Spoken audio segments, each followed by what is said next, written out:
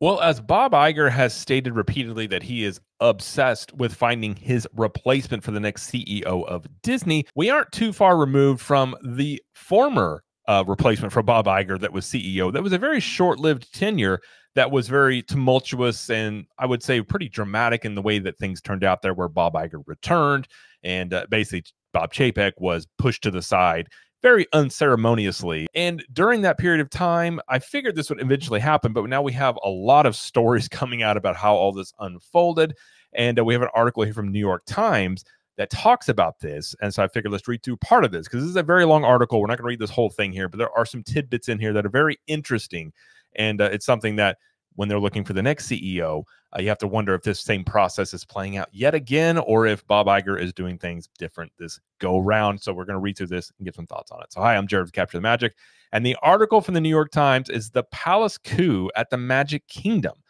And uh, funny enough, the New York Times they've had an article, a couple articles, really being pretty critical of Disney. So you're again, you're seeing a lot of these major publications really kind of come out here and start saying things that they weren't saying just a few years ago. But uh, like I said, this is a very, very long article. We are not going to read this whole thing. So there is a little bit the interesting parts here over on WDWNT where they kind of talk about the the gist of some of that stuff they had said there. And basically the, the main takeaway here is Bob Chapek says his children and grandchildren being a quote Disney family stopped him from suing the company.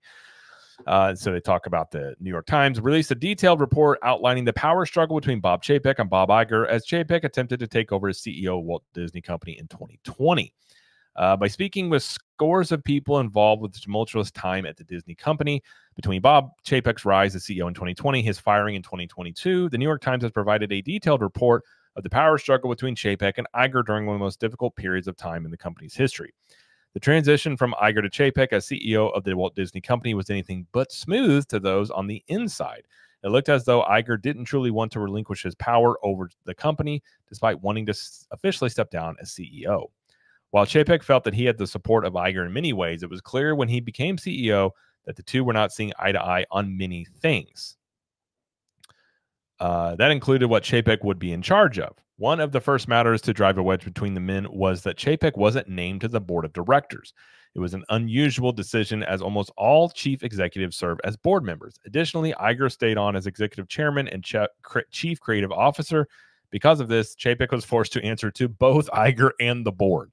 So basically, they go into the article and they do talk about how Iger wanted Chapek to answer to him so he was okay with, and they basically came to a compromise because the board said, well, the CEO is supposed to answer to the board.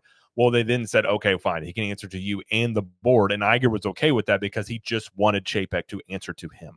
yeah, I mean, you're talking about CEO power trips here. Like, okay, like why step down? I, eh, that's the thing. Like, obviously, Iger never left. He was always in charge on some level. Like, I, it just it it's one of those things that's just so weird. Despite the strange circumstances, Chapek accepted the terms. In an initial meeting between him and Susan Arnold, who had served as the chairman, chairwoman of the Walt Disney Company since uh, December 31st, 2021, Chapek was issued a warning. Give him a wide berth. Don't step on his toes, she told Chapek as uh, talking about dealing with Bob Iger. Uh, says after Chapek took over as CEO on February 25th, 2020, Iger continued to make huge decisions for the company. When the COVID 19 pandemic impacted Disney parks, California Governor Newsom called Iger to discuss keeping the parks open. He called Iger, not Chapek. That's a very interesting takeaway from that. Um, Iger told him that the parks should close for safety reasons. While Chapek agreed with the decision, he was given no input in the matter. So technically, Bob Chapek was the CEO of Disney whenever this decision was being made about shutting down the parks in California. So Newsom calls Iger. Iger then basically uh, convinces Newsom to shut down the parks because Newsom wasn't going to do it. So the parks closing down, you can the, the cascading effect from that, you can basically blame on Bob Iger. Uh, but it's wild that Bob Chapek never had a say, and it says he agreed with the decision but was never consulted. That is insane. So if I'm at that point, if I was Bob Chapek, I would have just walked away. But obviously, that's a lot of money, and he's probably whatever. But um, it's obvious at that point that Bob Chapek's not in charge. I mean, it, it, you know, again, CEO. Technically, he's CEO, but Bob Iger he answers to Bob Iger. Ergo, Bob Iger's still the boss. Shortly thereafter, Chapek and Chief Financial Officer Christine McCarthy decided to furlough 90,000 employees at the theme parks, but Iger insisted they wait until the CARES Act was signed into law. When Iger's decision won out, Chapek's wife referred to Chapek as Iger's lapdog. It's one way to put it, and I think I would agree. When New York Times media columnist Ben Smith released a column detailing a conversation he'd had with Iger in which Chapek was shown in a negative light, Chapek was furious. Arnold was taken aback by Chapek's reaction to the article and urged him to calm down and defer to Iger. She felt he was being paranoid that Iger was trying to destroy him. To show support for Chapek, the board finally named Chapek a director. I mean, I don't think that's overreacting when you have your former I guess the guy that used to be in charge is constantly taking shots at you in the media and in private. I mean, essentially, what was set up in this article, the article again is very long. It goes into a lot of stuff about the internal stuff, but essentially, what was going on is there were people that were loyal to Iger inside the company. So anytime Chapek did something they didn't like, they would run and tattle on Chapek to Bob Iger, and Iger would either do something internally or he would make comments to the media undercutting Bob Chapek. So again, Bob Chapek was not actually in charge. He was just, you know, ceremoniously the CEO, but Iger was still running the show, and people, employees were still running to Iger to essentially tattle all the time. Uh, shortly after becoming a board member, Chapek decided to uh, strip the creative heads of authority, preventing them from determining spending and distribution for their projects. This essentially served as a demotion for all of them. While Chapek was warned by at least a dozen senior Disney executives that the reorganization was a bad idea. He was given strong backing by the board to move forward with Disney media and entertainment distribution. Reportedly, Iger raised questions but didn't have standing within the room to make any meaningful changes. So this part is kind of wild. So we'll we'll read it straight straight from the New York Times article, but just the pettiness of and I think the passive aggressiveness of Iger is kind of off the charts here. At D23 in 2021, Chapek reportedly pulled out a speaker out of fear of fans would boo him. He claimed it was because of a last minute commitment. The last minute commitment was Iger's farewell party. The New York Times implies that Iger didn't want Chapek to host his party, so he instead decided to have it when he knew that Chapek would be unavailable. Ultimately, Chapek went to the party anyway. This sounds like something out of like like the housewives shows like just a bunch of petty drama like this is exactly what this sounds like uh, in march 2022 the walt disney company released a statement intending to veto the Parental Rights and Education Bill. The problem wasn't Chapek's stance, it was that he only spoke up after a poor company response to his statement that corporate statements do very little to change outcomes. After all, Iger had denounced the bill one month before Chapek said anything. To make matters worse for Chapek, uh, Ron DeSantis vehemently opposed the statement from Walt Disney Company, which led to the repeal of the Reedy Creek Improvement Act. So their interpreting of this is basically what had happened in that whole situation was Chapek, and I believe it was also uh, Arnold had said, like, you know, Chapek had, had warned, we're getting too political. We shouldn't be a political organization. There should be something like, you know, something about we should fight wars, not battles, sort of thing. So whenever that came out, Iger had then made statements, critic, not really criticizing Chapek directly, but basically criticizing the way in which he was handling it, which then forced Chapek to, in, internally, they say pivot too far the other way. So Chapek at the same time was saying we shouldn't get political. Then he felt pressure, then got political, but they felt he went the other way. And then what ultimately led, I think, to the whole battle between Florida and Disney was the statement that was released at that time. And I can't remember the guy's name, but he was the head of the basically communications and in the the thing they they had a little snippet and it said we are going to actively work to overturn this legislation which again is disney essentially a california company implying that they are going to be working against the interest of florida that was you know by the government of florida.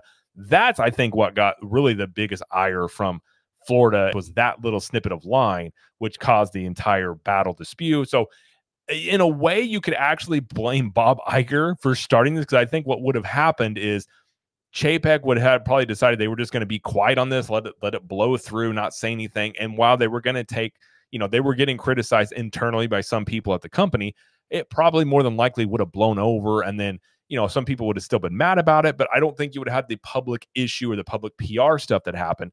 But because of Iger meddling, it kind of forced Chapek to go one way or the other, whether you agree with that or not. And then that forced a reaction on the other side, which caused a whole lot of uh, a cascading effect, if you will, from that situation. While Iger never said the board should fire Chapek, Chapek said could feel that things were not going well for him. He is said to have had told Arnold that he was worried things were going to get worse and Iger was going to be more vocal about his dislike for him. As the issues continued to pile up, it was Chapek's former allies McCarthy and Arnold who ultimately betrayed him. That's fitting. Without consulting Chapek, McCarthy entered board meetings with numbers and forecasts that showed the direction of the Walt Disney Company. Chapek wasn't present for the meetings where the conversations took place because he was petting hippos at Disney's Animal Kingdom. The figures presented were the final uh, puzzle piece that led to Chapek's firing. As Chapek prepared to go to the Elton John concert being live streamed on Disney Plus, Arnold called him to inform him that he was no longer the CEO of the Walt Disney Company. When asked why he was being fired uh, and wasn't given the opportunity to resign, Arnold told him that the board had lost faith in him. After his firing, Chapek hired Bryan Freedman, who advised him he had a very strong claim against Iger because Iger was interfering with Chapek's ability to do his job. You, yeah, I would say so. It doesn't seem like that Chapek was really able to do his job at all because Iger was constantly there, and then the people that were loyal to Iger were constantly working against him. Again, this seems very Game of Thrones in terms of like all you know all the internal politics. Ultimately, Chapek elected not to seek legal action because his family is a quote Disney family, and he didn't want to hurt the company you know, not that I would cry too many tears for Bob Chapek, as he got a nice little settlement out of the deal. He's not going to be hurting for money anytime soon. I mean, when it comes to this article and this information, none of this is surprising. It's it's interesting on some level. Again, it's very Games of Thrones or Real Housewives of Disney World or Disney, whatever you want to call it.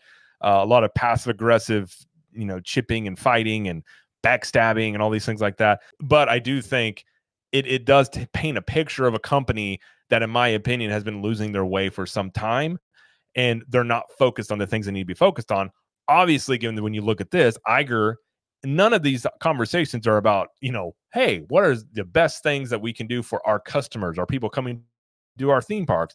It's all these internal battles about Iger not liking how Chapek said this, Chapek said this about Iger.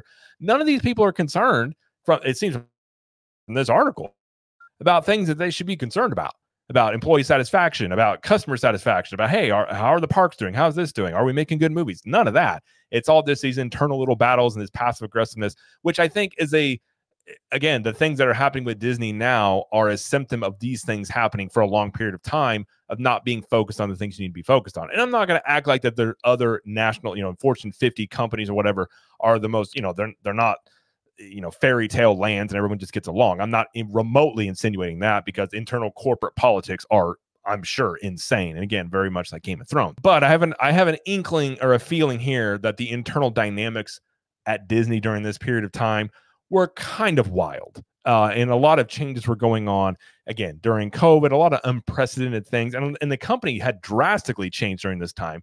Uh, disney plus had become a major focal point of the company uh, you know, obviously the parks been shut down for a period of time. So there was a lot of turmoil all over the place. And so I think this is just a symptom of people inside of a company losing focus on things they need to be focused on. But I think what it really does lend to is going forward, you know, Bob Iger now is yet again in charge of finding another CEO. And I just have to think if you're one of the two people, which the rumored people up for this job are Josh D'Amaro and Dana Walden with this information in this article and other ones that have been written, you know, since uh, Bob Chapek left, I would read these. I would take some notes, and if it seems like Bob Iger is doing the same things with them that they were doing with Bob Chapek, you might have the you know the writing might be on the wall, and I'm sure that some people would make better decisions than Bob Chapek. Chapek seemed like a very unconfident person, very concerned about public image and things like that. Not again, not concerned about doing the job necessarily, but Bob Iger very much did want to relinquish control. And I have questions about if he wants to relinquish control now. And in the article, they actually talked about Chapek had said Iger's going to be stay here basically until he dies, and I think that may be the case. Bob Iger does not want to let go of control. He supposedly is walking away in 2026. We'll have to see how if that shapes out. We'll have to see if they hire from internally within the company. But either way, this paints an interesting picture of the internal dynamics of it all. And I think uh, a palace coup is a good way to put it. I think you can put the the chaos at the Magic Kingdom as well. By the way, it's just an interesting little insight into this. And again, if you want to read the article, it goes into a lot of scenarios here. It's a very long article, but it paints a similar picture here uh, kind of what we talked about here. But that is going to though be it for this video. If you like this video, please like it and subscribe to the channel. as we do lots of coverage here of Disney World, Universal Studios, Epic Universe, and pop culture. But let us know in the comments what you think about all this. And until next time, we will see you in the parks.